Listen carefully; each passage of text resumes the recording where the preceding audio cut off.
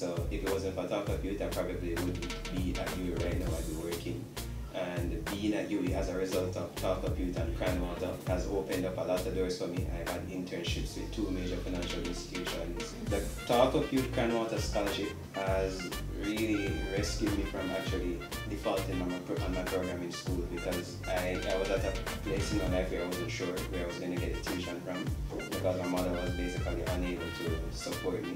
Since my time on Talk Up Yout, I've made a lot more connections. I started working with Wisynco through Talk Up Yout and Wisynco offered me a scholarship through Talk Up Yout and through the situation with Talk Up Yout that I spoke about with Talk Up Yout and CranWATA and that just lent them to give me more opportunities through their brand and through the Talk Up Yout brand.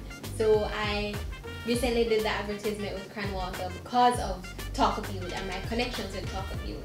They have given Jamaican youth a new voice, something to look forward to, opportunities that we couldn't have found anywhere else. Now it's not just you know, oh, this person is uptown, so that person must get a scholarship or that person must get an opportunity. No, it's people are coming from all different paths of life. We're all coming together and we're finding common ground and we're moving forward with these brands.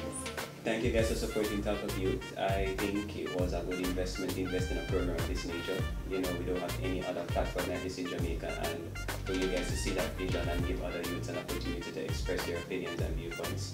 That was a smart move and uh, I just want to tell you guys to continue to support Talk Up Yout and continue to be in the great Jamaican company that you are.